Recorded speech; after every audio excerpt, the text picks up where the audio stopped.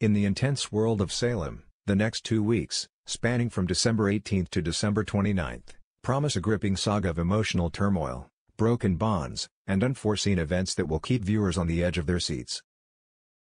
The drama kicks off with Holly Jonas, who finds herself abandoned on her birthday by Johnny DiMera. Left alone at the DiMera mansion, Holly's emotions spiral out of control, leading her to a drunken encounter. In a fit of anger, she leaves Johnny a scathing voicemail, setting the stage for a series of events that will test relationships and loyalties. Chanel Dupree, sensing Holly's distress, makes a selfless decision to encourage Johnny to be with Holly during her vulnerable moment, despite the pressing medical crisis involving Paulina Price. Johnny, torn between his commitments, ultimately agrees to be by Holly's side, a choice that may have far-reaching consequences. Stephanie Johnson and Everett Lynch, finding themselves entwined in a professional collaboration, team up on an article for The Spectator. As the week progresses, a festive invitation from Julie Williams draws Everett to the Horton house for Christmas Eve, marking the beginning of connections and alliances that will shape the holiday season. Christmas celebrations bring together an unexpected mix of guests, with Thomas and Charlotte DiMera relishing the opportunity to spend time with Stephanie Johnson.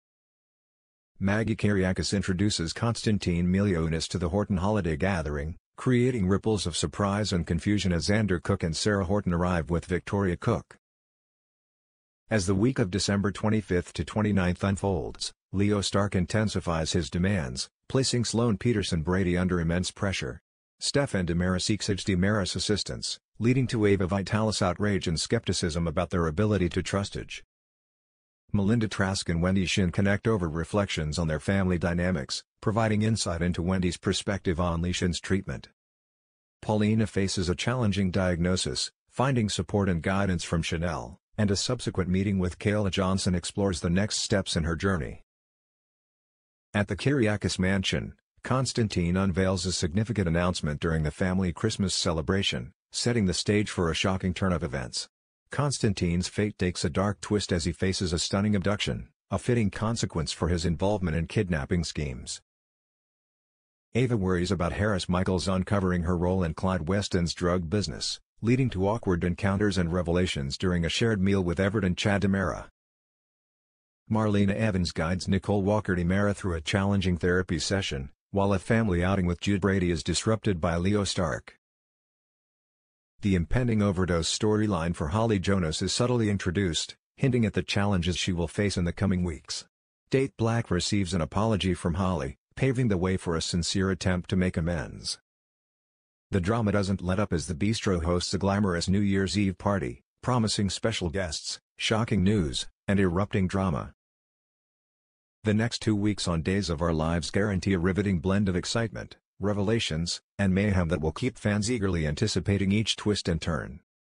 For the latest updates on the gripping saga unfolding in Salem, CDL remains the ultimate source for Days of Our Lives spoilers, updates, and news. Don't miss a moment. In which she played Ida Coyle, a prostitute who becomes involved with Warren Beatty's character, a gambler and entrepreneur. Once again, Duvall's performance earned her critical acclaim, with Roger Ebert calling her a stunning young actress who radiates love and intelligence.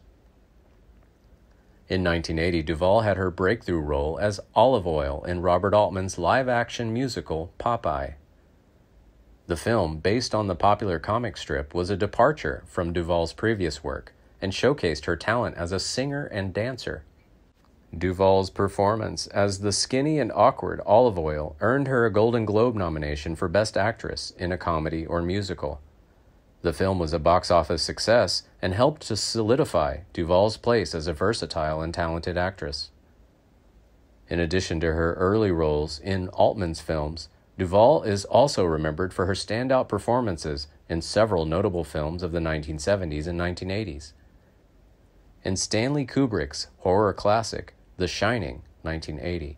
Duvall played Wendy Torrance, the wife of Jack Torrance, played by Jack Nicholson, who slowly descends into madness while caring for their young son in a remote hotel. Duvall's portrayal of Wendy as a vulnerable and terrified woman trying to protect her child was praised for its authenticity and emotional depth.